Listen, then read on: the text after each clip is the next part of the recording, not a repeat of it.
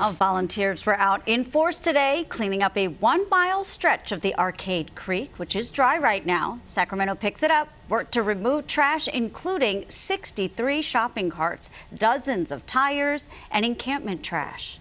Shopping carts, you could only see a tire sticking out of a whole shopping cart.